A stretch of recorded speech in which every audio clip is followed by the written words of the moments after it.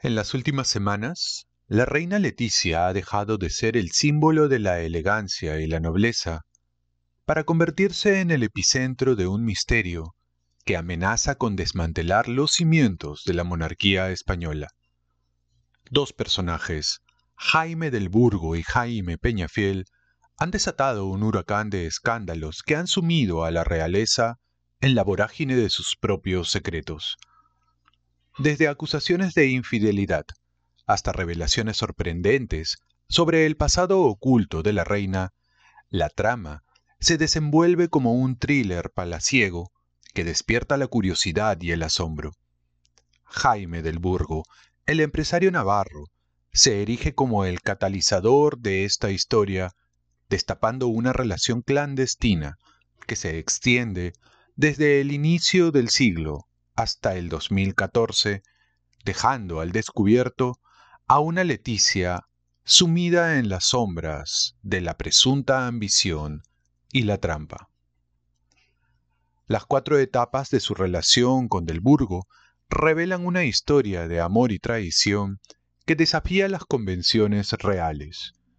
Desde el inicio de su presunto romance hasta la confesión de Leticia sobre su falta de amor hacia Felipe, cada capítulo agrega un matiz más oscuro a este cuadro de deslealtad y desesperación. Mudanzas propuestas a Nueva York, solicitudes de esperma para presuntamente tener un hijo por vientre de alquiler y el uso de los óvulos de su difunta hermana Erika para concebir, supuestamente, a Leonor y Sofía, pintan un retrato que, de ser cierto, dibujaría a una reina atrapada en sus propios engaños. Por otro lado, Jaime Peñafiel destapa los secretos antes de la llegada de Felipe a la vida de Leticia. Un matrimonio efímero, con Alonso Guerrero, aventuras en Estados Unidos y México que incluirían romances con un director de periódico mexicano y el líder de Maná, Fer Olvera, revelarían una vida tumultuosa y apasionada que la reina mantenía oculta. La trama se complica y la reina, que alguna vez se presentó como moderna e inteligente, ahora se encuentra en el epicentro de los rumores y las críticas que cuestionan su sinceridad y lealtad.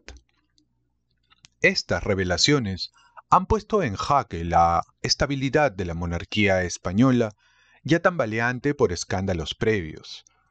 El rey Felipe VI se encuentra en una encrucijada enfrentando decisiones cruciales sobre el futuro de su matrimonio y la continuidad de la institución que representa. Las especulaciones sobre un posible divorcio o incluso una supuesta abdicación flotan en el aire, planteando la posibilidad de cambios históricos en la corona española. Mientras la opinión pública se mantiene en vilo, la reina Leticia intenta preservar su imagen oficial, pero la frialdad en su relación con Felipe y las dudas sobre su papel como madre y consorte la han convertido en blanco de críticas y rumores. En este escándalo real, las sombras de los dolorosos engaños de Leticia han estremecido los cimientos de la monarquía, desvelando un enigma que sigue desafiando las expectativas y desentrañando los secretos más oscuros de la realeza española. El misterio de los encuentros secretos de la reina. Los pasillos del poder real se estremecen con las revelaciones que han sacudido la corona española, transformando la monotonía de la vida en palacio en un intrigante relato de pasiones ocultas. Desde que Jaime del Burgo abriera la veda de los secretos a principios de diciembre, la corte real se ha visto sumida en un torbellino de escándalos, propiciado por la pluma afilada del periodista especializado en la Casa Real, Jaime Peñafiel. En este drama, que se desarrolla entre las sombras del poder, las presuntas infidelidades de la reina Leticia al rey Felipe VI emergen como el epicentro de un misterio que podría cambiar el curso de la historia real. La trama se complica con los detalles suculentos y escabrosos que Peñafiel ha añadido a la narrativa de Del Burgo, confirmando y expandiendo los matices de un romance clandestino que parece sacado de las páginas más enigmáticas de la literatura. Según las revelaciones de Del Burgo, las relaciones entre él y la reina se dividen presuntamente en cuatro etapas que pintan una historia de amor y desencuentros que va más allá de lo que las crónicas reales podrían haber imaginado. La primera etapa, una relación amorosa que floreció entre el 2002 y el 2004, parece ser el germen de una trama que evoluciona hacia una complejidad insospechada.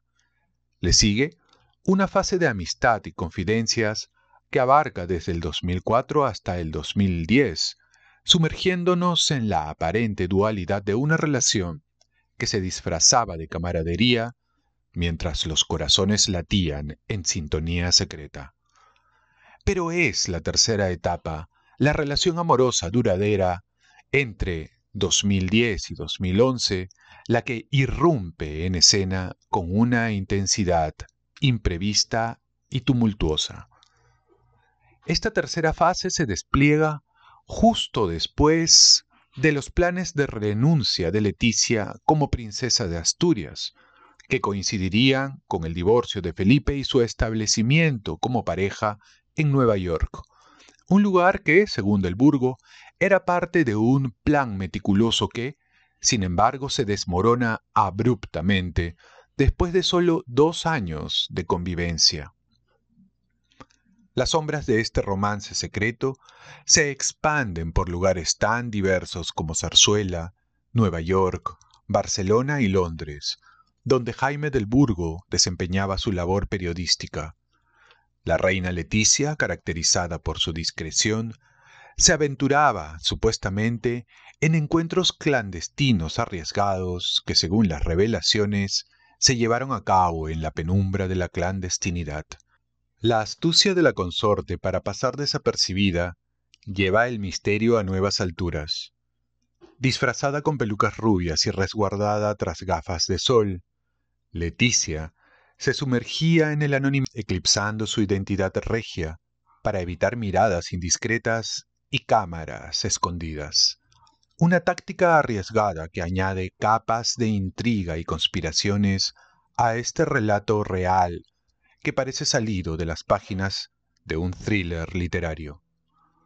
En este juego de sombras, donde la reina se convierte en una figura de la noche, el misterio se alimenta de dualidad de una monarquía que, a pesar de sus aires de solemnidad, no puede evitar las pasiones prohibidas que laten en sus propios corredores. El futuro de la corona española pende en la balanza del ojo público mientras la reina Leticia, enigmática y atrapada en la red de sus propios secretos, se convierte en el epicentro de un misterio que desafía las expectativas y estremece los pilares del poder real. Sombras y secretos. La fachada de la corona española, tan meticulosamente construida por la reina Leticia, ha comenzado a resquebrajarse revelando los oscuros secretos que han permanecido ocultos tras el brillo de su imagen pública. En las últimas semanas, la figura que se erigía como la salvadora de la Casa Real, la defensora de la ética y la transparencia, se encuentra ahora en el epicentro de un escándalo que amenaza con desentrañar los cimientos de la monarquía. Jaime del Burgo, excuñado y ex esposo de Telma Ortiz, ha desenterrado el pasado de Leticia, señalando, aún sin pruebas, encuentros íntimos que se extienden tanto antes como después de su compromiso con Felipe VI. Un relato que, de ser cierto, desdibujaría la imagen ejemplar que la reina había proyectado, revelando una complejidad de la que hasta ahora había sido ajena. La explosión de revelaciones alcanza su punto álgido con el libro Leticia y yo, escrito por el implacable cronista de la Casa Real, Jaime Peñafiel, en una serie de entrevistas, particularmente en el canal de YouTube La Reunión Secreta, Peñafiel ha vertido más combustible al fuego, dejando a la consorte expuesta a una tormenta mediática sin precedentes. En este relato de sombras, Peñafiel añade nuevos elementos al misterio que rodea a la reina. Afirma que la reina enfrentó dificultades para concebir, sometiéndose a varios abortos, tanto en España como en México, una verdad que Zarzuela prefirió mantener en las sombras, de acuerdo a Peñafiel. La revelación más impactante, sin embargo, es que Leticia habría recurrido a los óvulos de su difunta hermana Erika Ortiz para finalmente convertirse en madre de Leonor y Sofía. El escritor arroja luz sobre los viajes secretos de Leticia a Valencia, que Zarzuela ha ocultado durante más de 18 años. La reina, en su lucha silenciosa contra la infertilidad, se habría sometido a tratamientos de fertilidad en la ciudad, un detalle que contradice la imagen de perfección que ha cultivado. Peñafiel desvela estas verdades incómodas, aún sin sustento, poniendo de manifiesto las grietas en la narrativa oficial y exponiendo la fragilidad de una reina que ahora se enfrenta a la tormenta de la verdad. Sorprendentemente, el silencio de la Casa Real ha sido la respuesta a estas presuntas revelaciones. Un silencio que, más allá de la estrategia mediática, sugiere que los asuntos discutidos han afectado las entrañas de Zarzuela. En la ausencia de una defensa pública, la sombra de la complicidad se cierne sobre la corona, mientras los espectadores, ávidos de respuestas, llenan el vacío con sus propias interpretaciones. La reina Leticia, quien una vez se presentó como la defensora de la transparencia, se encuentra ahora en una encrucijada. Su imagen, cuidadosamente construida, se desmorona frente a los ojos del público, dejando al descubierto una realidad más compleja y humana, mientras la monarquía española se enfrenta a un torbellino de incertidumbre.